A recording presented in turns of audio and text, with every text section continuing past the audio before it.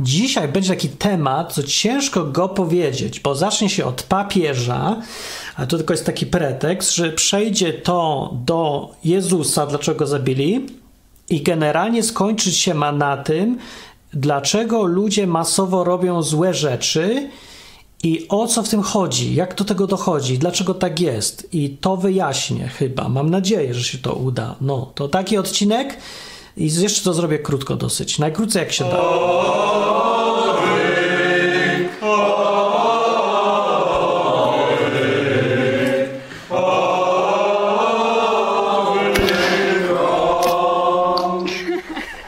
Dymu dużo więcej. 6 marca 2023 roku na TVN-ie zapuszczono e, reportaż pod tytułem Franciszkańska 3, w którym opowiadał e, autor, taki dziennikarz, takim bardzo dziwnym głosem zmanieryzowanym, ja go nie lubię, ale reportaż był e, rzeczowy straszliwie. Widziałem sobie ten reportaż i reportaż Franciszkańska 3 E, pokazuje się już dowody na to, że Karol Wojtyła jeszcze jak był, jeszcze zanim był papieżem, wiedział już o tym, że jest problem z pedofilami wśród kadry kościelnej, kościele katolickim e, i zbadałem tam sprawę Bolesława Sadusia, e, Eugeniusza Surgenta i Józefa Loranca. Wszyscy trzej robili wyjątkowo obrzydliwe rzeczy z dziećmi i Wojtek o tym wiedział. Wychodzi na to z dokumentów. I reportaż e, jest. E, no nie, nie powinien nikogo dziwić, bo wszyscy się trochę tak domyślali, ale ten, e, w tym reportażu są już konkretnie dowody, podpisy już samego Wojtyły i takie różne sprawy. No, że jak ktoś nie widział, no to w skrócie powiem, że no, ja wiem, że to jest takie ciekawe. Nie polecam tego oglądać, bo jest dosyć obrzydliwe. No, czy jest obrzydliwe jak... Nie, no jest obrzydliwe to wszystko. Cała historia jest strasznie obrzydliwa, ale że to jest program o Bogu po ludzku, a nie o papieżu, ani o Kościele, to mnie to aż tak bardzo nie interesuje. Interesuje mnie bardziej to, jak ludzie w Polsce zareagowali na ten e, odcinek, reportażu na tą godzinę, bo parę dni temu, bo nagrałem to 13 marca, czyli tydzień dopiero, tydzień dopiero był po tym yy, reportażu, a już zdążyli tak. Sejm zdążył ogłosić e, w imieniu całej Polski, że broni papieża oraz jego świętości, że jest czysty i tylko same dobre rzeczy robi, w ogóle wzór do naśladowania, największy Polak i tak dalej.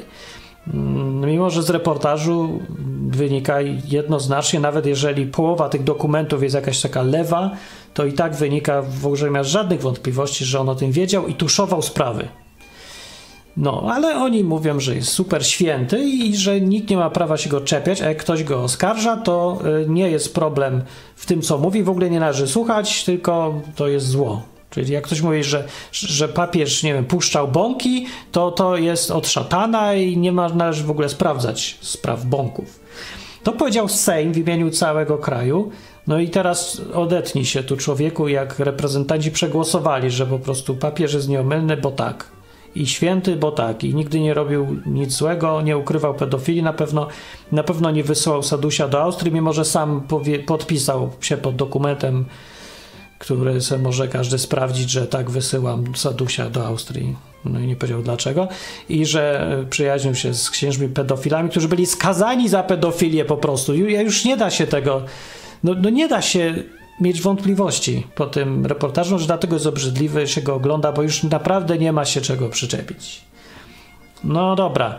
No i teraz, jak mówię, reakcja y, społeczeństwa jest taka, że podzieliło się na pół, połowa ludzi broni papieża, druga połowa broni nie wiadomo, czy broni, czy atakuje. Fajnie było powiedzieć broni dzieci, bo to w sumie o to chodzi, ale tak naprawdę w całej dyskusji już tydzień toczy się w Polsce. Mało kto w ogóle o tych dzieciach mówi. No to chyba powinno być najważniejsze. Te dzieci to już mają tak po 60 lat dzisiaj, ale no to takie coś siada i całe życie jest zepsute troszeczkę albo bardzo albo go w ogóle nie ma, bo niektórzy nie wytrzymali presji psychicznej po takich spotkaniach bliskiego trzeciego stopnia z księdzem. No, y, no dobra, ale to dalej co to ma wspólnego z tematem? Nawet jak ludzie tak reagują, to co to ma wspólnego z Biblią, Bogiem, Jezusem? bo to bardziej temat polski, nie? Czy coś tam specyfiki polskiej. Otóż nie. To jest pytanie się pojawia, jak widzisz taką reakcję ludzi po reportażu, po którym nie powinno być już żadnych wątpliwości. No po prostu nie ma co pytać o opinię na temat gościa, przeciw któremu są dowody, że wiedział, chował, robił rzeczy, które się normalnie robi w mafii. No tak było, no co zrobię? Lubię, nie lubię, nieważne. Po prostu wiemy, że tak było. Koniec dyskusji. A tu nie, jest dyskusja i pytanie, jak pan uważa? No i na pytanie, jak pan uważa, pojawił się sondaż. Pół ludzi mówi, że no jest to dobra, ukrywał, albo raczej ukrywał, a druga połowa mówi, nie ukrywał, albo w ogóle na pewno nie ukrywał. Y, górale z Podhala y, oświadczyli, że w ogóle będą bronić świętości papieża i jego w ogóle czystości do śmierci i, i tak dalej. Jakiś poseł wczoraj powiedział z Lublina, że mu wstyd, ale nie za to, że księża ukrywali przestępców i pozwalali ich im robić dalej tą samą działalność, przenosząc od jednej parafii, gdzie już matki za głośno krzyczały do następnej parafii, żeby mogli sobie ze świeżymi prawda, towarami robić swoje. To nie, za to nie wstyd, ale wstyd mu za to, że ktoś nie zagłosował w Sejmie za y, tym, żeby dobrego imienia papieża bronić i że nawet nie wstał, tak powiedział facet, że mu wstyd. I teraz moje pytanie. Jak do tego dochodzi, że ludzie, którzy no, widzą, wiedzą już, już mają informacje, które są właściwie, kończą całą dyskusję, bo mówimy o dowodach, już nie zgadywanki to są. I oni wiedząc, że tak już jest, są fakty, dalej nie chcą ich widzieć, upierają się, że wszystko było super i że to jest pomnik stuprocentowy, wzór do naśladowania. Już. Nie chcą widzieć, że to jest trochę no, problem taki. Nie że jest tutaj człowiek i jak to człowiek, nakryliśmy go, że robił rzeczy wyjątkowo niesmaczne. A poza wszystkimi dobrymi rzeczami, albo fajnymi, albo cieszącymi ludzi, bo kremówki każdy zjeść lubi, prawda, posłuchać jak se papież żarta rozrzuci, że ten w ogóle, że Polak i tego, wszyscy go lubią, Polaka, to też się, się przenosi to lubienie na wszystkich, nie? Jak się urodziłeś e, w promieniu 100 kilometrów od miejsca, gdzie się papież urodził, a papież zrobi coś dobrego, to przechodzi na ciebie. Tak jakoś tak się to rozumie. No i dobra, no wszystko jedno, nie wiem, no jakby był nawet e, w 98% Jezusem, w 2% okazał się jakąś straszliwą kanalią e, z powodów politycznych albo dla większego dobra, no dobra, no jest w życiu, nie? Śmierdząca e, jest to funkcja być politycznym liderem jakiejkolwiek grupy której się trafiają ludzie wyjątkowo obrzydliwi. No i teraz jest pytanie, co z tym zrobić. I to jest trudny dylemat, ale nie o tym rozmawiamy. Rozmawiamy o tym, jak to możliwe, że takie duże ilości ludzi nie zwracają uwagi na rzeczywistość. Bo co myślę, jak rozmawiać z człowiekiem, który po prostu odmawia patrzenia na realia. I nie chodzi tu o ten temat w ogóle papieża, bo to nie jest o papieżu. To jest w ogóle o wszystkim. Bo ten sam, ten sam problem, który sprawia, że połowa społeczeństwa po ujawnieniu dowodów na to, że papież wiedział o pedofilach, dalej go broni i zamyka oczy na to, to ta sama rzecz która jest powodem tego, sprawia, że kobieta bita przez męża przez 10 lat dalej uważa, że to wspaniały człowiek, tylko troszeczkę może mu coś źle poszło, ale jak się jeszcze trochę z nim pobędzie, albo pomodli, albo da więcej zupy, albo mniej ją przesoli, to przestanie bić. Albo, albo na przykład, to jest ten sam problem, y, kiedy w Niemczech, jak wychodzi jakiś malarz i mówi, że chce poprowadzić te Niemcy do zwycięstwa, i mówi coś o Żydach, żeby najpierw wszystkich się pozbyć i tragedia, to ci Niemcy nie zauważają w ogóle, że on mówi takie obrzydliwe rzeczy. W ogóle tego nie widzą i słyszą tylko, że będą, będzie cudownie świetnie będzie, Niemcy wielkie i tylko to widzą. Jak to możliwe? I ostatecznie, jak to też możliwe, żeby tłum 2000 lat temu gdzieś zgromadzony przy pałacu któregoś tam zwierzchnika religijnego albo cywilnego, e, gdzie się rozstrzygało, czy zabić jednego młodego rabina, czy też go wypuścić za nie wiadomo jakie przestępstwa, ten tłum zgromadzony, któremu ten młody rabin pomagał właściwie, bo ich tam leczył i uczył i różne rzeczy, krzyczy ukrzyżuj. na śmierć z nim i nie godzi się, żeby taki żył i różne takie historie, masowo ludzie go potępiają. Jak to się w ogóle dzieje? Bo przy każdym badaniu realnym, takim, kiedy Jezus stanął przed sądem Piłata, Piłat nie potrafił znaleźć żadnego, za, żadnego zarzutu. Gorzej, nie rozumiał, o co go oskarżają nawet. No i ciężko, żeby zrozumiał bezstronny Rzymianin, mimo że to też troszkę łajza był, na porywczy, bardzo nienawidzący chyba szczerze tych y, Żydów, Piłat był, nie znosił tej całej religii i ich podejścia, ale mi się wcale mu nie dziwię tak bardzo. Wyjątkowo tam e, okrutnie i krótko się załatwiał z problemami. E, jest nawet w samych Ewangeliach wzmianka o tym, że tam pozabijał e, czasem kogoś. No więc ten Rzymianin bezstronny tu jednak nie potrafił znaleźć dowodów przeciwko Jezusowi, a tłum, który zdawał sobie z tego sprawę, że, że nie wiadomo o co w ogóle go oskarżają, gdzie jest jakiś problem, krzyczy, że ukrzyżuj. Dziś tam jest zmianka w Ewangeliach, że go przekupili ten tłum. To nie wyjaśnia za bardzo wszystkiego i też yy, no, ciężko w to uwierzyć. Poza tym Załóżmy, że tłum można łatwo manipulować albo przekupić, niech będzie, ale co z tymi, którzy są bardziej świadomi? Członkami Rady, 70, którzy rządzili wtedy Izraelem y, jako takim krajem, no, teokracją. Nie? To był Sanhedryn, Rada 70, którzy tak naprawdę mieli bardzo dużo władzy i to oni decydowali. Oni zdecydowali o tym, żeby tego Jezusa się pozbyć, a, a tłum to tylko ich popierał. Jak to możliwe, że im tak coś siadło na łeb? I tak samo to jest coś niewytłumaczalnego. Dlaczego na przykład ludzie sobie obzdurali nie tak dawno temu jeszcze, rok czy dwa czy trzy, że wirus, który ma intensywność właściwie natury jest najbliższej podobny do grypy, jest sezonowy, zabija wyłącznie najsłabszych i najstarszych, albo prawie. Tak, no, nie jest jakoś specjalnie groźny. Wywołał większe większą panikę masową yy, i histerię niż dżuma, trąd, yy, ta zaraza z czasu średniowiecza, no po prostu wszystko, nie? że zarazy, które ludzi zabijały w ilościach jakichś no, takich szokujących, nie? że połowa mieszkańców umarła, E, mniej były w stanie siadać ludziom na psychikę niż wirus, który coś tam 0, coś tam po ułamku ludzi dotyka. Oczywiście, że nieprzyjemna sprawa, ale niewiele bardziej niż nieprzyjemna jest nowa grypa, która się pojawia co jakiś czas. Się, się co rok pojawia, ta grypa, no po prostu się trafił trochę gorszy wirus i tyle, i se poszedł. Poszedłby sobie sam, ale ludzie nagle dostali świra. I teraz pytanie jest takie dla mnie. Czy jest coś wspólnego, jakiś powód tego, że ludzie dostają świra na punkcie COVID-a, papieża, Jezusa, yy, małżonka złego, albo jakichś innych tam rzeczy. Po prostu ubzdurają coś i w to wierzą. Jak do tego dochodzi? Lepszym porównaniem będzie na przykład takie masowe przekonanie, że można żyć nie pracując, tylko jadąc sobie na długach, biorąc, y, pożyczając ciągle w kółko rzeczy, bez pracy, bez myślenia o przyszłości, bez uczenia się, jakoś to będzie.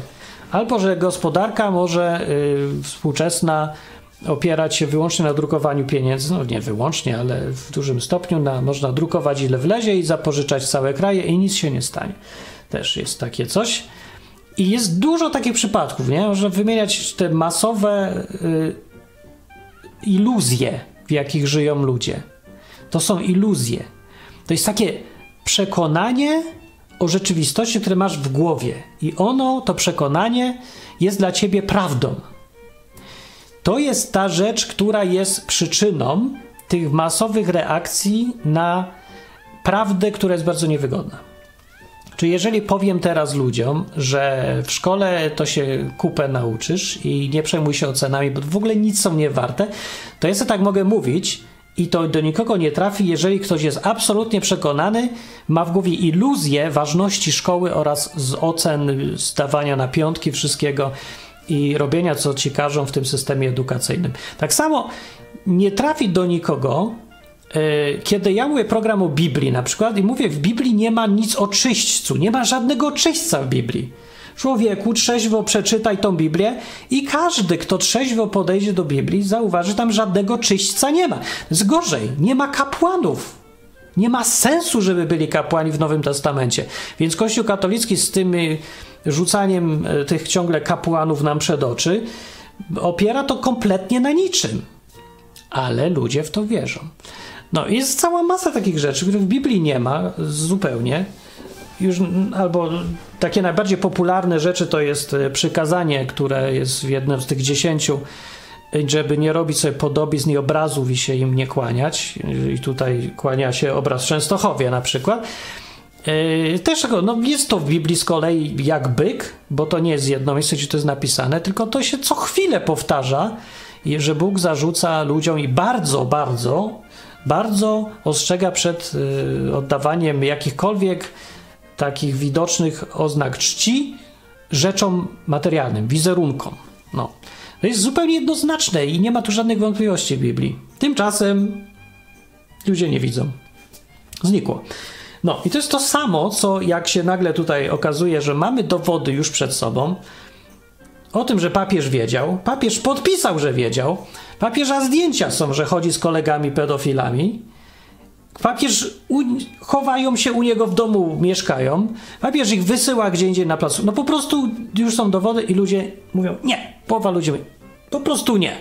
To jest atak. No i pytanie tak naprawdę to nie sprowadza się do tego, czy to jest atak, czy nie jest atak. To nie, się nie pytam, czy to jest atak, ja się pytam, czy to prawda. A taki człowiek mówi tak, to nieważne, czy to prawda, to ważne, czy to atak. I tu dochodzimy do sedna. I o tym jest ten odcinek. To, co taki człowiek ci powie, którego zapytasz o tym, czy y, Jan Paweł wiedział, czy nie wiedział, on się nie będzie zastanawiał nad tym, czy to jest prawda. I jak sobie zobaczycie te wypowiedzi, jeżeli y, gdzieś znajdziecie z marca 2023 roku właśnie, które i te całe histeryczne obrony papieża przez Sejm, telewizja polska postanowiła codziennie puszczać kawałek kazania pięciominutowy, codziennie, żeby ludzie sobie przypomnieli. No i prezydenci, i wszyscy, i wszyscy bronią jak leci. Wszyscy ci ludzie, jeżeli sobie posłuchacie Y, uważnie tego, co dokładnie mówią, to nikt z nich nie mówi nic o prawdzie.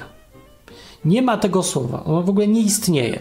O sprawdzaniu, o dowodach nie ma. Oni nie mówią w ogóle o rzeczywistości i nie mówią w ogóle o tym, czy to prawda, czy to nieprawda. To pytanie ich nie obchodzi. Górala nie obchodzi pytanie, papież mógł w ogóle być kosmitą. Jeżeli może być dowód na to, papież może być y, kimkolwiek, mógłby być kobietą, mógłby sam się przyznać. Nieważne, bo to nie o to chodzi. To o co chodzi tym ludziom, jeżeli nie chodzi im o to, że rzeczywistość jest taka albo siaka? No ja wam powiem o co chodzi. Im chodzi o to, co jest napisane w trzecim rozdziale Ewangelii Jana.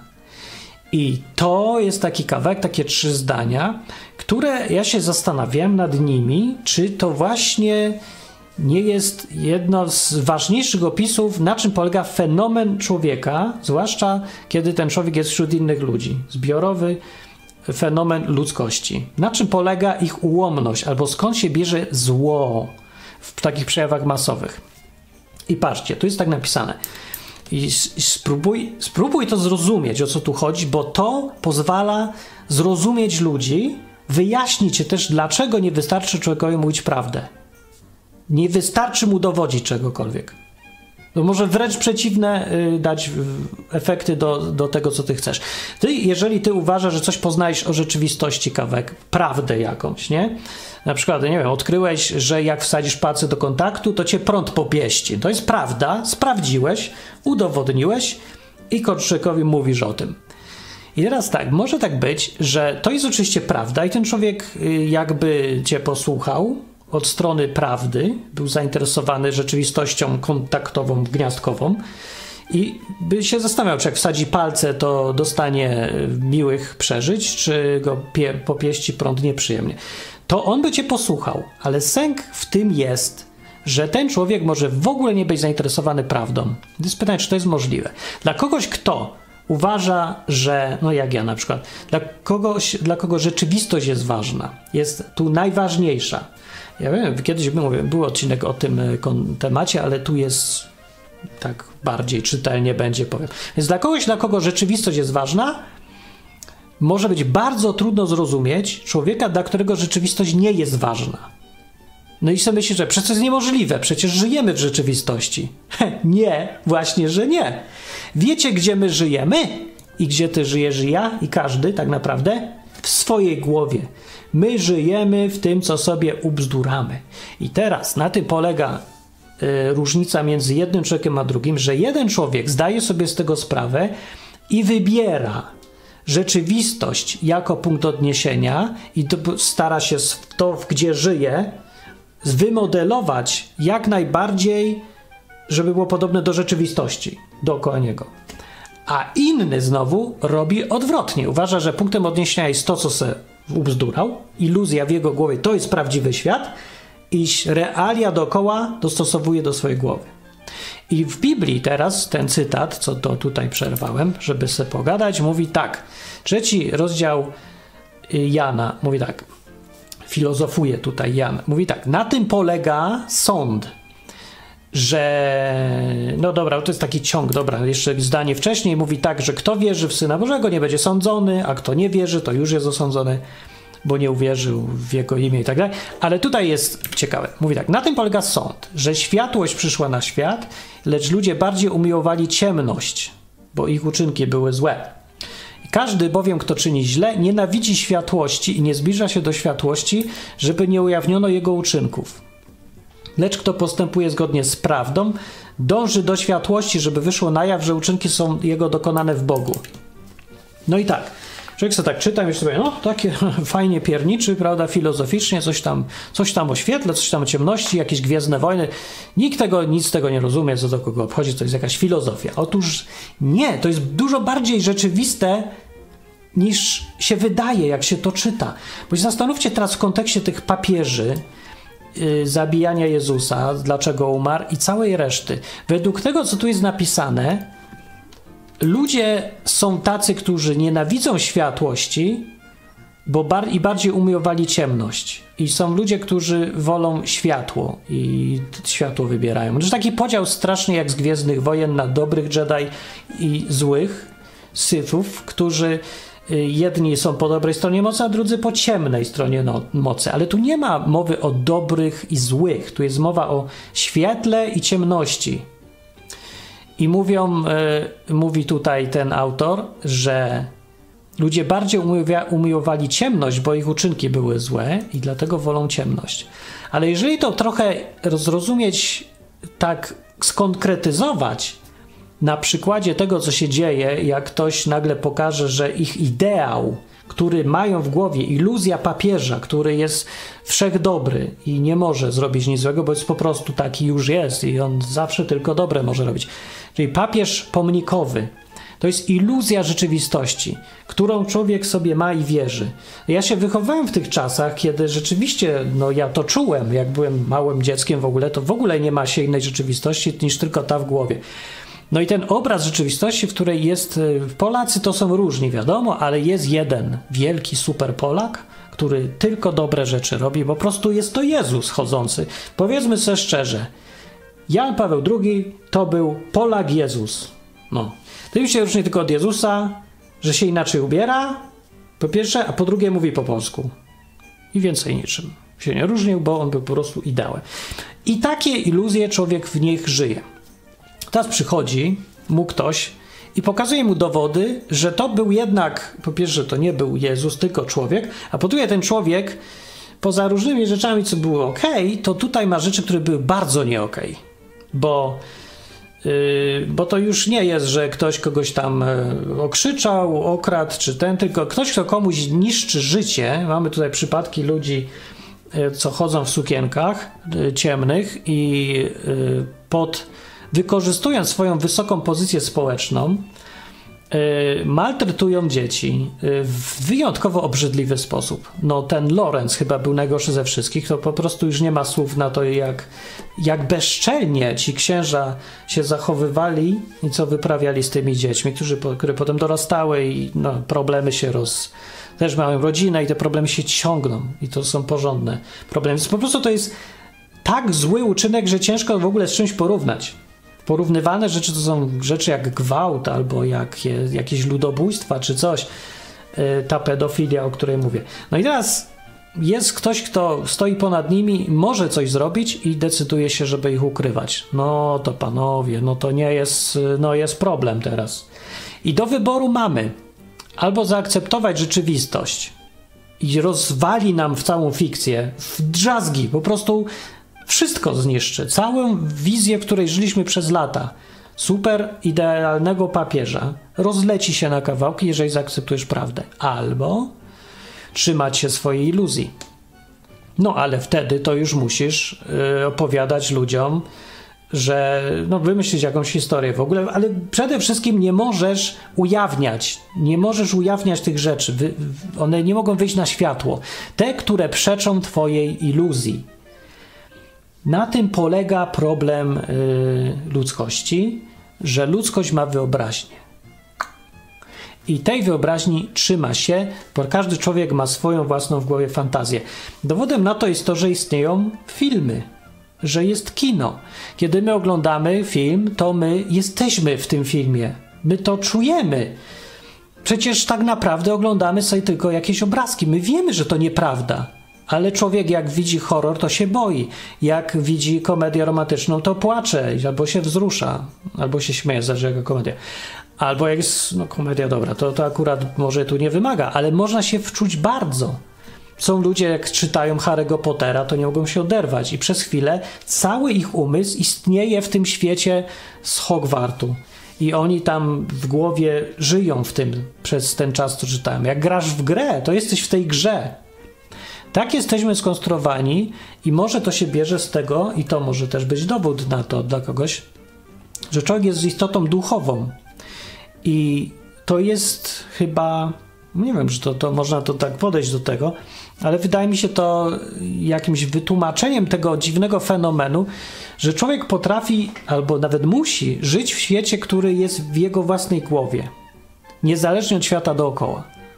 Nie, że to jest coś jak masz sen i ten sen jest dla ciebie rzeczywistością. Masz papieża super dobrego, nieludzkiego wręcz, że w ogóle taki ktoś nie może istnieć, jest tak święty, że to jest w ogóle niemożliwe. I y, dla ciebie to jest rzeczywistość. Albo y, w twoim świecie na przykład komunizm są bzdura, że równość wszystkich ludzi, i e, różne tam historie, że za darmo wszystko powinno być, nikt nie pracuje, wszystko jest za darmo, a wszystko jest w sklepach. Kompletnie nierealne, nieżyciowe rzeczy, niemożliwe e, przez dziesiątki lat udowadniane wszędzie, ale ludzie dalej w to wierzą i mają taką wizję. No i co? Przekonywać ich rzeczywistością? Właśnie nie za bardzo działa. I to, co tutaj mówi. Yy, Jan w Ewangelii na początku, kiedy mówi o tym, że ludzie bardziej umiłowali ciemność niż światło, to nie. To my to tak rozumiemy, odruchowo się rozumie, że oni byli tacy źli, jacyś zepsuci, tak chodzą po cichu, tam chowają się, bo im słońce oślepia czy coś. Ale po, popatrzcie na to trochę inaczej. Ludzie, którzy umiłowali ciemność, to są ludzie, którzy umiłowali swoje iluzje to trochę, może trochę źle, że użyte jest porównanie światło i ciemność, bo to się od razu kojarzy z dobro i zło. A gdyby to tak inaczej trochę przedstawić, że są ludzie, którzy umiłowali rzeczywistość i są ludzie, którzy umiłowali fikcję, to wtedy to, to zdanie brzmi tak. Na tym polega sąd, że rzeczywistość przyszła na świat, lecz ludzie bardziej umiłowali fikcję, bo ich uczynki były złe. Każdy bowiem, kto źle czyni nienawidzi rzeczywistości i nie zbliża się do rzeczywistości, żeby nie ujawniono jego uczynków. Lecz kto postępuje zgodnie z prawdą, dąży do rzeczywistości, żeby wyszło na jaw, że uczynki jego dokonane są w Bogu. No może rzeczywistość to nie jest najlepsze słowo, żeby to użyć, ale bardziej chodzi zgodność z faktami, prawda po prostu, nie? Ale tu chodzi o to, że rzeczywistość, to co jest naprawdę, jest nadrzędne w stosunku do tego, co mamy w głowie. I wtedy to zdanie wyjaśnia dużo bardziej realnie, według mnie, na czym polega problem z ludźmi, że, yy, że nie idzie im powiedzieć, jak jest naprawdę. Bo tak naprawdę to się wszystkie problemy, no nie wiem, że wszystkie, ale większość problemów, które ja widzę u ludzi, przychodzą do mnie ludzie, gadają. Ja tu jestem tym odwyku jako autor tych yy, odcinków, ale też ludzie sobie pogadać lubią ze mną, bo ja tak gadam po ludzku, jakoś nie jak no, krawata nie mam, nie udaję, że jestem wielkim psychiatrą i prawda, tutaj jest 200 zł za godzinę, a ja będę tak siedział, słuchał, potakiwał, a potem coś powiem ładnego z książki. Nie, tylko można pogadać. Więc ludzie przychodzą i pogadują do czego zachęcam, przychodźcie i pogadujcie, póki jest okazja, bo jak pójdę do jakiejś roboty, co już nie będę miał czasu i nie pogadamy. A tak, to patroni, różni sponsorzy przychodzą co jakiś czas, dają mi tam co łaska, żebym mógł żyć, gadać. Więc przychodzą i gadają. I moje to doświadczenie, niekoniecznie profesjonalne, ale długie i duże i intensywne i różnorodne, mówi mi, że większość problemów, które ludzie mają psychicznie w życiu, ze sobą, z innymi ludźmi w ogóle, z problemem jak żyć, nie? żeby być szczęśliwym i fajnie, żeby było, to one się biorą z tego, że gdzieś wierzą w coś nieprawdziwego. I to jest podstawa właściwie większości rzeczy, może nawet wszystkich. I wszystkich depresji, tych jakichś lęków różnych i psychozy i agresji za dużej, i, I, tego, że nie możesz, nie możesz się dogadać z kimś, kogo kochasz nawet, ale nie idzie ci. Mnóstwo całych problemów gdzieś ma na dnie, zawsze trafisz na rzecz, yy, która jest wiarą w iluzję. Iluzją jakąś, którą człowiek ma w głowie. I ja wiem, że na ich miejscu, kiedy ja już wiem, jak jest naprawdę i akceptuję tę rzeczywistość, poradziłbym sobie łatwo bo już teraz to ja już wiem. Jak już wiesz jak, to już sobie poradzisz. No łatwo czy nie łatwo, ale bym sobie poradził. Oni nie mogą. I na tym polega problem, że ja wiem jak to zrobić, żeby było dobrze u gościa. Dokładnie wiem co zrobić i wiem co on mógłby zrobić, żeby to zadziałało i by było dobrze, ale nie mogę do niego dotrzeć z tym, co mu chcę powiedzieć, bo on nie akceptuje tej prawdy. No to jest najprostszy przykład, że jest ta standardowa bita kobieta, nie? Standardowa bita kobieta, to brzmi okropnie, no ale no jest. Taki przypadek sobie łatwo wyobrazić. I też znamy z życia takie przypadki, że w drugą stronę też to działa, że są mężczyźni, którzy żyją z jakimś, no albo wszystko jednaka płeć. Żyje ktoś z wyjątkowo badziewnym partnerem. Toksyczny jak jasna cholera, nic dobrego z tego nie wychodzi, zatruwa tylko wszystkim życie, nie ma sensu z nim być, nie? Każdy to widzi dookoła. No znacie takich, no nie wierzę, że nie znacie, przecież to najczęstszy przypadek jest. No i tak, i teraz widzisz to z zewnątrz i możesz powiedzieć jak jest chłopu albo kobicie. No i mów. Pewnie już mówiłeś. I co było? Nic, nie? Możesz nawet przyznać rację, ale to nic nie zmienia. Żyje dalej tak samo w tym całym toksynie i dalej to ciągnie. Dlaczego się zastanawiasz? No ja nie wiem, tutaj to już jest bardziej skomplikowane i to zależy indywidualnie od każdego, ale problemem jest to, że ktoś żyje w swojej fikcji, a nie w rzeczywistości. Jeżeli by człowiek no, jeżeli człowiek akceptuje już rzeczywistość, na przykład już wiem, że sam tak miałem, nie? że w momencie, kiedy zaakceptowałem, że związek z kimś dalej już nie da się zrobić, nie ma już sensu. Z, przez, wyszedłem z fikcji, z swojej wersji rzeczywistości, w której wszystko jeszcze da się zmienić, i zaakceptowałem rzeczywistość, o której mówiły fakty. I fakty mówiły, nie, już nic nie zrobisz. Zrobiłeś już wszystko. Zrobiłeś po trzy razy wszystko, co się mogło się dać zrobić. Po prostu nie da się. Każdy ma własne życie i własną wolę, decyduje o sobie, każdy, każdy chce być jaki chce być i już. I jak zaakceptowałem to, to mogłem się uwolnić i przejść dalej, skończyć związek, zacząć nowy czy coś, ale musiałem zaakceptować rzeczywistość, więc każdemu się to zdarza. Myślę sobie, bo jak mówię, każdy człowiek ma tą wyobraźnię i swój własny świat, w którym żyje. Eee, no. A to, co mówi tutaj y, Biblia, to mówi o takim bardziej już trwałym chyba podziale, a może to trochę przesadza, nie wiem, czy to tak jest, że człowiek wybiera całą e, życie fikcji w każdym aspekcie życia i już się tego nie da zmienić. A drugi znowuż wybiera życie w rzeczywistości, w świetle i też tego już się nie da zmienić. Więc myślę, że to się tak trochę miesza. Ale jest ten podział. I tak ogólnie patrząc od strony tego Jezusa, dlaczego go ludzie odrzucili i zabili, to jest z tego samego powodu, dla którego ludzie e, wy, wymyślili sobie, że papież jest super i że o niczym nie wiedział, że był dobry, a tak naprawdę nie dotykajmy tego sprawy, bo był wielkim człowiekiem i w ogóle nie zastanawiajmy się nad tym. Z tego samego powodu zabili Jezusa ludzie, bo mieli własną wersję rzeczywistości. I w tej wersji rzeczywistości, faryzeuszy wersji rzeczywistości, Izrael był dobry, ludzie byli super, e, system religijny był doskonały i działał, Rzymianie byli źli i tak dalej. Nie? Była taka wersja rzeczywistości. Przyszedł Jezus i rozpieprzył to wszystko w kawałki, bo on miał całkiem inną wizję rzeczywistości. Więc tak, ludzie są zepsuci, przywódcy religijni są hipokrytami najwyższej klasy i po cichu robią rzeczy wyjątkowo obrzydliwe, prowadzą ludzi nie wiadomo, nie wiedzą sami gdzie. Tak mówił, że plemię żmijowe, groby pobielane, ślepy prowadzi ślepego. To wszystko mówił Jezus o przywódcach religijnych. Zupełnie inna wizja rzeczywistości. Ale Jezus mówił prawdę. Jezus mówił tak, jak było. A przywódcy religijni, czyli faryzeusze, saduceusze i uczeni w piśmie i inni tam, oni wymyślali własną narrację, własną iluzję, fikcję. I oni ją sprzedawali ludziom i ludzie w, tym, w niej żyli sobie, w tej fikcji. I ta fikcja była jaka była, ale była. No i była zaakceptowana ta fikcja i jeszcze do niej jakoś się dobrało Rzymian, którzy też mieli oczywiście własną jeszcze fikcję, yy, no ale każdy żyje jak już w swojej fikcji, jak się tę fikcję już okrzepnie, to mamy naszą fikcję i w niej mamy żyć i ona jest stabilna. I teraz jak przyjdzie ktoś i zacznie zawracać głowę jakąś prawdą, to jest ryzyko, że nam tą fikcję rozwali. Jak nam ją rozwali, to się my nie pozbieramy. Więc dlatego trzeba takiego usunąć, żeby nam fikcji nie rozwalał, bo ta fikcja jest ważna. No i to jest dokładnie to, co się dzieje teraz, na przykład w marcu 2023 roku z papieżem, albo raczej tymi, którzy ujawnili, zrobili dobrą dziennikarską robotę. Naprawdę rzetelnie badają dokumenty.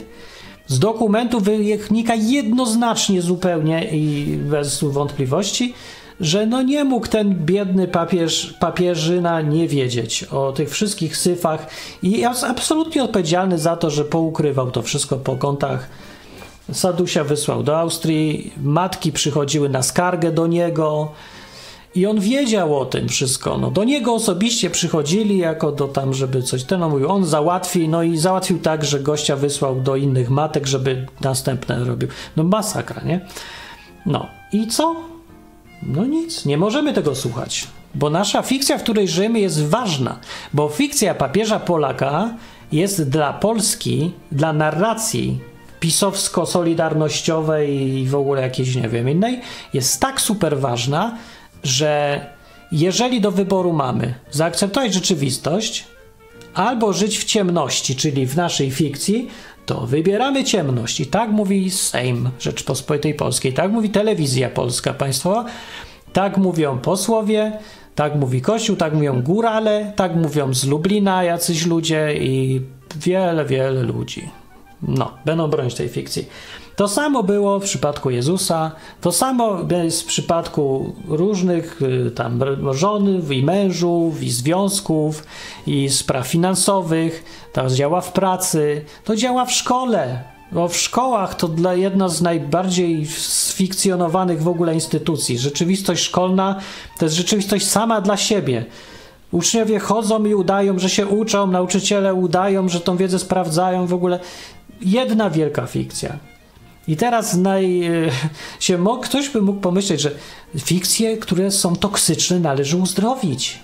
Uzdrawia się ich dostosowywaniu do rzeczywistości, nie? Żeby ta fikcja była zgodna z rzeczywistością, bo musimy żyć w naszym świecie, który sobie wymodelowaliśmy w głowie, wyobraż, w wyobrażeniach działamy. No i trzeba je upodabniać do rzeczywistości. Bo jak po prostu rozbije się o nią każda nieprawdziwa fikcja. Na tym polega problem. Nie, że nasza fikcja nam się nie podoba. Jak se człowiek zaśpiewa I believe I can fly, to czuje się wspaniale, jak ptaszek. Lata sobie. Wierzę, że może lecieć. Ale potem któregoś dnia wyskoczy przez okno. I tam już będzie rzeczywistość za tym oknem, a w rzeczywistości on nie może latać i rzeczywistość nie zaśpiewa mu I also believe you can fly i pofrunie. Nie pofrunie, rozbije się o chodnik na dole. I wtedy jest ten problem. Dlatego chodzi o to, żeby fikcja, w której żyjemy, czy narracja, jaką mamy, czy wyobrażenie świata było maksymalnie zgodne z prawdą. To się nie rozbijesz. To jest ludzie nie do zrobienia, bo wszyscy żyjemy w jakiejś tam formie tylko modelu rzeczywistości, który mamy w głowie. Więc na przykład jak jestem młody i głupi, jak są młodzi ludzie, są najgłupsi. Jak ja byłem młody i głupi, to ja wierzyłem w różne takie duperele e, romantyczno-hollywoodzkie związane z e, kwestią e, mężczyzny i kobiety i związków. Więc ja sobie wyobrażałem, ja powiem, dziewczynek, że będę ją miał kompletnie nierealnie. Nie? I miłość i takie różne rzeczy były tak wy... że sobie przypomnę, na, no nie wiem jak to powiedzieć, ale tak od, odjechały od tej rzeczywistości, realiów życia daleko, że no to była kwestia czasu, kiedy se rozbije nos. No i co? No i się rozbiłem, no, no co mogło być innego? No po prostu każdy, ale to nie da się tego uniknąć, jak mówię, więc znowu się nie potępiajmy za to, po prostu taka jest złomność człowieka. Wyobrażasz sobie, że jakiś swój model, wizję życia razem w związku i no i, i teraz może się udać, bo możesz y, cisnąć ten swój związek, w swoim własnym modelu, nie? I jeszcze ty możesz i ona może, możecie razem w ogóle udawać jakąś taką dziwną formę, przyjąć życia, że wyobrażacie sobie coś, czego nie ma, ale dla was jest. No. Tylko, że działa to y, do momentu, kiedy się nie rozbije o rzeczywistość faktycznie. No. Y, problem na przykład na tym polega, że żeby utrzymać taką fikcję, jednym z minusów, dlaczego niedobrze jest żyć w fikcji, bo może nie powiedziałem o tym wyraźnie. No na dlatego jest niedobrze. Po pierwsze, jeżeli zaczniesz ją testować zbyt szeroko i wszędzie i wystawisz ją na światło, to swoją wersję rzeczywistości i wierzysz, że jak razem ze swoją lubą wyskoczycie przez okno, to polecicie, bo was miłość uskrzydla. Nie, tak sobie uwierzysz no to jak skakaj przez okno i się zaraz rozbijesz i będzie po fikcji, nie? I będzie tylko cierpienie z tego wszystkiego. Ale jest drugie rozwiązanie. Yy, nie, wy, nie skakać przez okno. No nie? Tak samo yy, rozwiązaniem problemu papieża, o którym wszyscy wiedzą, nawet ci, co krzyczą, że przecież był super święty, oni wiedzą gdzieś, tak jakby ich zapytać tylko o rozsądnie, nie? O fakty. To oni wiedzą, że przecież on wiedział. Już nie da się nie wiedzieć, ale oni tylko wiedzą, nie wiedzą, nie było. To jest właśnie rozwiązanie dylematu yy, życia w przekonaniu, że jak wyskoczę z lubą przez okno, to zacznę latać, więc lepiej nie wyskoczyć. Więc lepiej po prostu nie sprawdzać, czy papież wiedział, czy nie wiedział. To było rozwiązanie. No, więc winny jest wtedy nie ten, kto yy, robił niecne rzeczy, czy papież właśnie w tym wypadku lub jego koledzy pedofile, tylko ten, kto to ujawnił. Bo ten, kto to ujawnił, zniszczył ludziom dzieciństwo, a ten, kto robił, no to porobił, porobił, no i no dobra, już nieważne.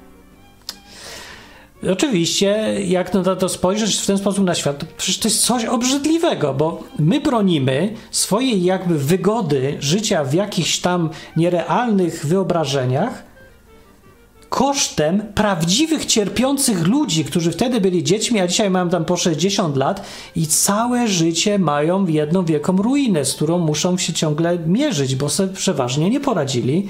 W takim kraju jeszcze zakłamanym jak Polska była, jest, kiedy takich rzeczy się nie mówi głośno i wszyscy udają dookoła nich, więc nie mieli nawet jak sobie poradzić przeważnie, bo nikt ich nie chciał słuchać. No właśnie z tego powodu, bo psuli ludziom fikcję. Więc jeżeli się ksiądz cię pomolestował, to masz przerąbane w Polsce, bo jeżeli chcesz o tym komukolwiek powiedzieć, to zniszczysz im natychmiast ich wyobrażenie życia, świata. Bo ksiądz jest jaki jest, ale nikt sobie nie wyobraża życia w świecie, gdzie to są po prostu jakieś predatory, nie? Takie chodzą i polują na dzieci. No po prostu przecież to jest nieakceptowalna rzeczywistość. Jakby ktoś sobie tak to wyobrażał. Przecież to w ogóle nie sposób być katolikiem. Teraz szukać, że każdy ksiądz może być w najgorszym możliwym przestępcą, który tylko czyha, żeby ci dziecko zmolestować albo ciebie, albo w ogóle cokolwiek zrobić, bo jest bezkarny. Nikt tak sobie nie może wyobrazić rzeczywistości, bo nie da rady. Po prostu nie jest w stanie żyć psychicznie. Musi albo coś musi z tym zrobić. No, zrozumiecie, na czym polega problem. I ta światłość, o której tutaj mowa w wersecie jest yy, u Jana, yy, mówi, że przyszła światłość na świat, ale ludzie bardziej umiłowali ciemność. To jest klucz do zrozumienia, co się stało z Jezusem i dlaczego go zabili. Ale to jest więcej. To jest klucz do zrozumienia, dlaczego mówienie prawdy na tym świecie to nie jest taka prosta sprawa bo to mm, rozbija się o decyzję w samych podstawach tego wszystkiego, że decyzja człowieka, według tego, co ten werset tutaj mówi, polega na tym, czy bardziej wybierasz ciemność, czy światło. Ciemność do utrzymywania fikcji jest niezbędna. Ciemność polega na tym, żeby nie konfrontować z rzeczywistością swojego wyobrażenia. To jest ta ciemność tutaj w, w skrócie opisana. Ciemność jest po prostu nie naświetlanie wszystkiego, ukrywanie, chowanie tego po kątach, ale przede wszystkim nie konfrontowanie z rzeczywistością. Jeżeli więc jest małżeństwo, y, które sobie siedzi w kościele baptystów i żyje według swoich własnych baptystycznych norm, które w starciu z konfrontacją z prawdziwą rzeczywistością mogą się okazać kompletnie nieskuteczne i bzdurne. A na przykład jest takie wychowanie dzieci, taki model wychowania dzieci w kościołach protestanckich, który polega na tym, żeby im opowiadać, tam czytać Biblię i różne rzeczy yy, i mówić, że narkotyki są złe i palenie jest złe, wszystko jest złe, nie dotykaj tego, ale to działa tylko, bo to jest wszystko fikcja, to jest opowiadanie głupot dzieciom. Dlaczego? Co, może nie są złe. Nie o to chodzi, że są złe. Po prostu nie mówisz im prawdy. Prawda jest taka, że są kuszące na przykład. Prawda jest taka, że po narkotykach czujesz się lepiej. No tego nie mówią, że czujesz się lepiej po narkotykach. Mówisz tylko, że są złe. Jak jesteś porządnym protestantem. Więc yy, tak pokazujesz nie całą rzeczywistość, tylko budujesz znowu młodemu człowiekowi model jakiejś rzeczywistości w głowie na przykład, że nie wiem, jak y, będziesz, pójdziesz z kimś do łóżka, jak masz 18 lat, to dostaniesz zaraz HIV-a, nie? albo coś nie wiadomo, co się stanie. I taką wersję rzeczywistości. I teraz mówię, to działa, dopóki nie konfrontujesz tego z rzeczywistością. Bo jak tylko pojadą, pójdą na studia i spotkają się z wszystkim i zapalą sobie pierwszego jointa i tutaj się z kimś tego, tego, nagle się okazuje, że to jest przyjemne, że po tym nie ma HIV-a od razu wcale i w ogóle wszystko jest inaczej. I dostają od życia po mordzie. Dlatego, że y, rodzice, co prawda, wcale im nie kłamali, ale nie powiedzieli całej prawdy, ale w gruncie rzeczy mieli rację, tylko ból i problem, nieszczęście całe polega na tym, że zbudowali fikcję, która nie była konfrontowana z rzeczywistością. Trzeba było mówić bardziej realnie tym dzieciom, rzeczywistość pokazywać, przyzwyczaić do niej, a nie uciekać od niej. I to jest y, właściwie, chcę przez to powiedzieć, że dzieci wychowywane w zamkniętych y, warunkach ciepłych, cieplarnianych, kościelnych są utrzymywane w ciemności, a nie w światłości. Tym ludziom się wydaje po kościołach, że yy, chroniąc dzieci przed tym światem, czyli tak, to tak naprawdę są rycerzami światłości, a w rzeczywistości jest dokładnie przeciwnie. To przecież oni ukrywają światłość przed dziećmi, to znaczy świat, rzeczywistość. Światłość to nie jest synonim robienia dobrze. Światłość to jest po prostu nieukrywanie, konfrontowanie się z prawdą, z rzeczywistością. Yy, prawda to jest ta światłość, to znaczy nieukrywanie. No, no nie wiem, jak to powiedzieć. Chyba zrozumiale. Ja to powtarzam kilka razy, żeby dobrze oddać takie yy, stwierdzenia, które trochę są przecież abstrakcyjne, nie? więc próbuję szukać tu jakichś wam dobrych porównań. Dlatego, że no, często jak się czyta Biblię, to takie właśnie zdania jak na tym tam polega sąd, że światłość przyszła na świat, ludzie bardziej umiłowali ciemność. Czytasz sobie w Biblii i wydaje się, że, że to takie jakaś poezja. Gówno, żadna poezja, twarda rzeczywistość to jest właśnie. Trochę nieszczęśliwie jest, że to tak sformułował apostoł Jan. Bardzo pięknie to napisał i skrótowo i bardzo zwięźle, ale szkoda, że nie oddał realniej tego, co miał do powiedzenia, bo on powiedział, że ludzie wolą robić rzeczy złe, dlatego się chowają przed konfrontacją z rzeczywistością i dlatego podziałem, podział świata jest na tych, którzy mówią głośno prawdę i na tych, którzy chowają się po kątach, bo mają swoją fikcję, której nie mogą konfrontować z rzeczywistością, jak już ją raz mają, bo im się rozleci w kawałki. Więc muszą siedzieć w ciemności, muszą ukrywać się przed prawdą, przed faktami. Tak jak człowiek wierzący w super świętego Jana Pawła II musi się chować przed reportażami, które ujawniają, jak było naprawdę.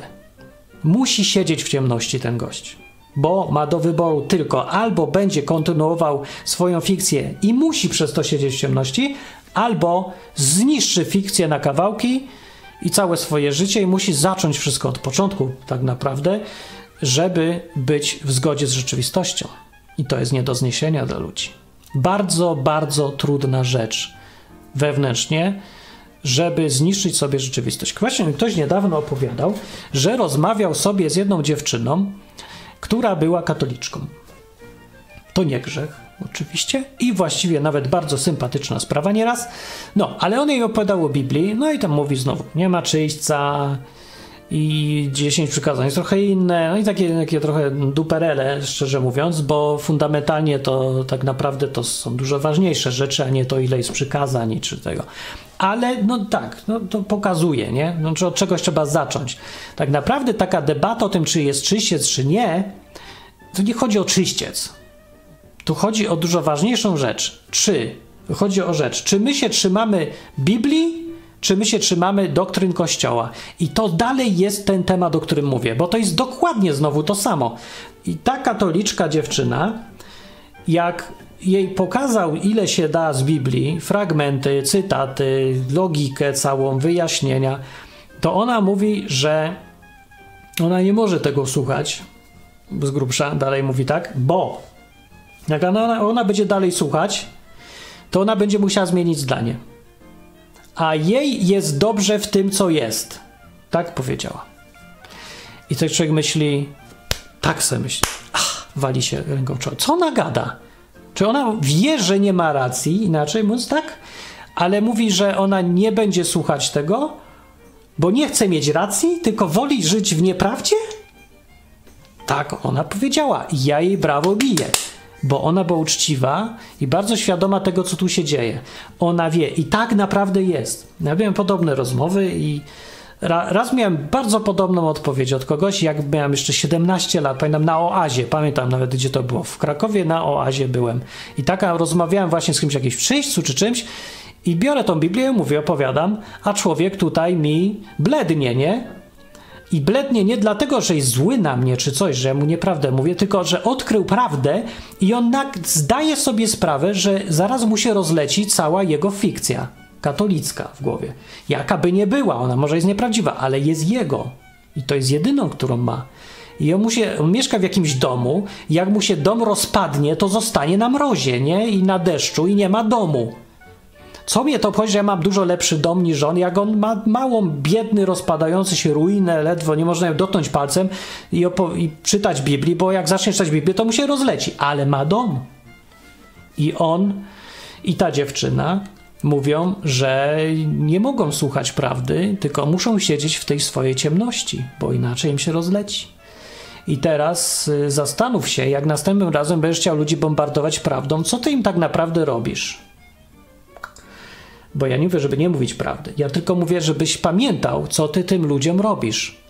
Bo tobie się wydaje, że to tak beztrosko po prostu przywracasz ludzi do światłości. Ale pamiętaj, ile to ludzi wysiłku i bólu kosztuje. No, i to jest, yy, to jest rzecz, która trochę rozwala mózg. Bo jeżeli chcesz pamiętać o ludziach, jeżeli jesteś empatyczny, rozumiesz kogoś ból, to uświadom sobie, że opowiadając mu prawdę, niszczysz mu dom. I ten dom może to jest słaby, zrujnowany, ale to jest jego dom i to go będzie boleć. I może to jest ból potrzebny i na dobre się obróci. To jest ból jak przy wyrywaniu zęba zepsutego, ale ten człowiek ma jedynego zęba i nim gryzie i ten ząb się zepsuł, ale jak go nie ma, to nie ma czym gryźć. I możliwe, że mu wyrośnie nowy, nawet na pewno. Zgodność z rzeczywistością, no bo człowiek nie może żyć bez swojej fikcji, bez y, no, iluzji jakiejś. No. no nie musi być iluzja, może to być wersja rzeczywistości bardzo z bliska prawdy rzeczywistej do świata dookoła, ale jakiś obraz swój mieć musisz. Więc jeżeli zniszczysz sobie y, wiarę w świętego papieża, wiarę w Kościół katolicki nieomylny, w, czyśćcem, diabłami, wodą święconą i przykazaniem, którego wycięli, a tak naprawdę nie wycięli, jak se to zniszczysz?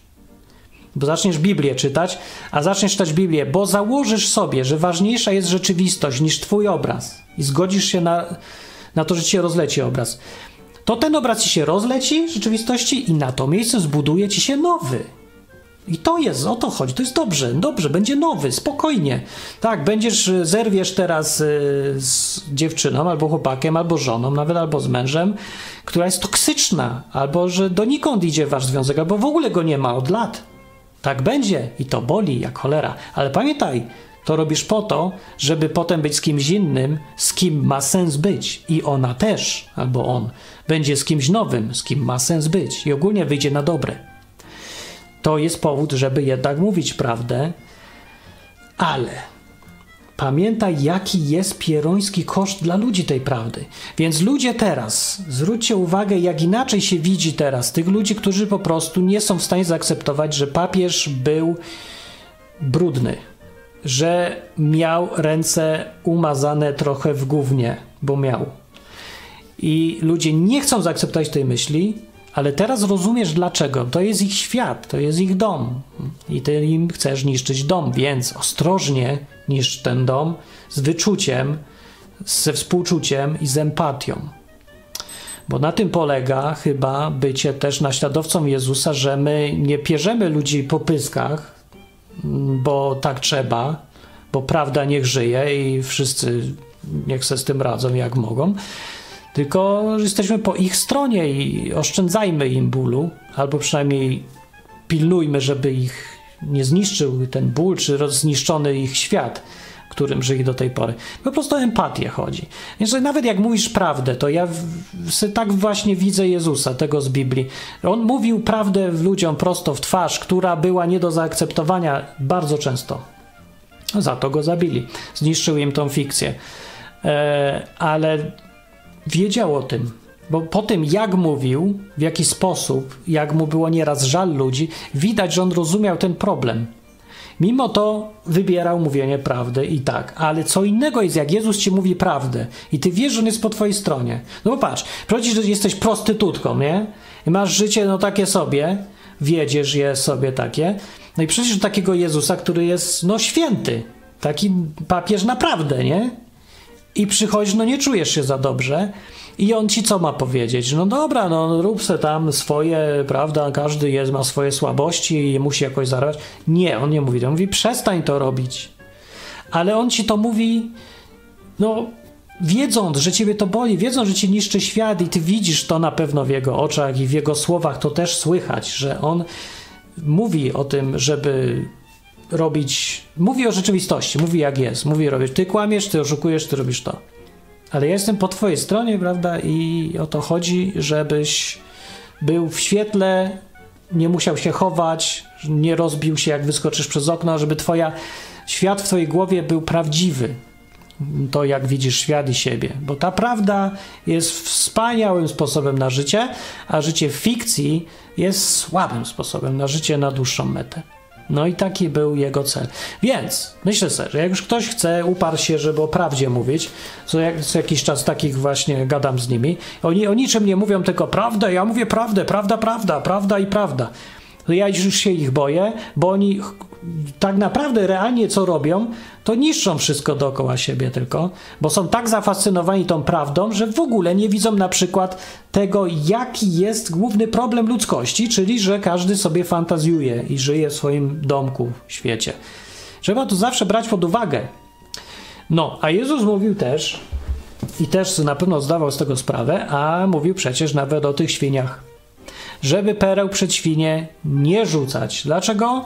Bo cię podeptają te perły i się jeszcze y, na ciebie rzucą. Co dokładnie tak się stało w jego przypadku. On im opowiedział, y, że od rzeczywistości, powiedział im, że to robicie źle, tamto tego, jak jest tak i tak. Mówił samą prawdę.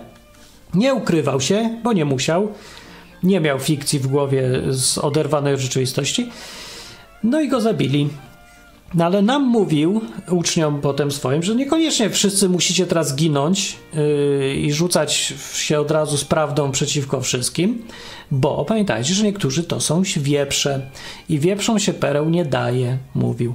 Mówił też, żeby być sprytnym jak węże, a niewinnym jak gołębice, co też jest ciekawe, bo na przykład niewinność gołębic sugeruje, żeby mówić prawdę właśnie ludziom i wyciągać ich z tych iluzji szkodliwych, złych, nieprawdziwych ale znowuż w sposób sprytny. Jak ten wąż. Tak się tutaj tego. Ja ci tutaj dom zburzę, ale po kawałku rozbiorę po cegle, nie zauważysz, a tu nagle tyle tada i masz inną rzeczywistość. Jeżeli tak się da i ktoś potrafi, to jak najbardziej właśnie. No dobry pomysł. No. Więc to Jezus sam był mądry bardzo w tym.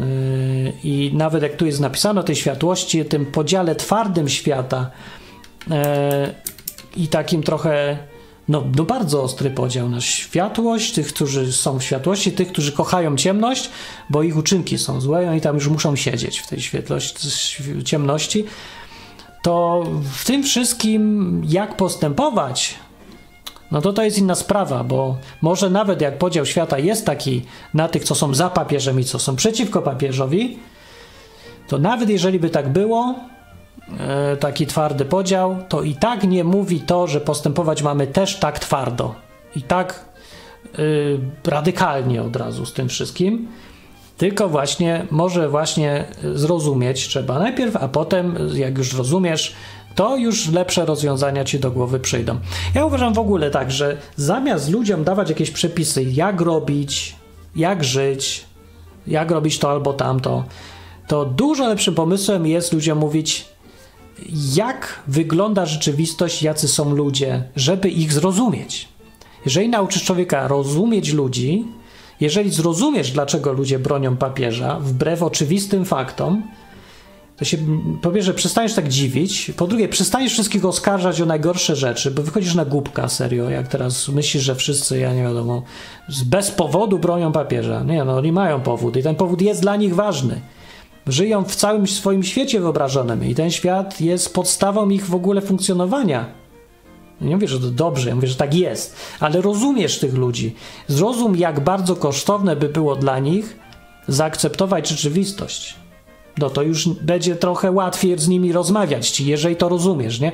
Wtedy ci nie trzeba mówić, jak gadać z gościem, który wierzy w papieża. No, wiesz, jaki jest. Wczuj się w niego. No jak już się wczujesz, to znajdziesz sam ci przyjdą rozwiązanie, jak z nim rozmawiać. No. Zresztą ludzie intuicyjnie tak robią, nie? Jak masz babcię, którą lubisz bardzo i ta babcia ma swoją kompletną fikcję w głowie, no to ludzie tak, no nie od razu radykalnie do babci. Babciu, to co wiesz, to kompletne bzdury i masz tu wszystkie dowody nagle. No bo tylko tak no tak się kręci do babci, tańczy trochę, nie? No się trochę boisz, że babcię uszkodzisz, no i pewnie trochę słusznie. Z drugiej strony, właśnie pamiętajcie, że po to my mamy ludzi uszkodzić na chwilę, żeby ich wyleczyć z choroby, której są całe życie. Więc to warto robić, bo przecież Jezus to właśnie robił. To tak mówię dla tych, którzy chcą coś dobrego robić w ramach naśladowania Jezusa albo i bez naśladowania Jezusa bo i tak skutek dobry jest w tym wszystkim najważniejszy. O owoce tutaj chodzi. A nawet jak ktoś mówi, ja tam sam z siebie jestem dobry bez naśladowania Jezusa, no to bardzo dobrze, bądź dobry, gratuluję, piona i w ogóle. Yy, A jak się okaże po śmierci, że Jezus stwierdzi, że ty mówisz, że my nigdy nie naśladowałeś, a tu proszę ciebie, kochany y, gówno prawda, ja cię uznaję za swego ucznia i cię jeszcze wpuści do tego lepszego miejsca, bo stwierdzi, że ty cały czas robiłeś jego robotę dobrą. Może tak być? A czemu nie? Właściwie to wynika z tego, co tych jego przypowieści o sądzie i takie różnych, że właściwie to on tak będzie robił. Więc ostatecznie chodzi nie o to, kto deklaruje się, że jest uczniem Jezusa i jego naśladowcą, tylko o to, kto naśladuje Jezusa i robi robotę, która jemu się podoba.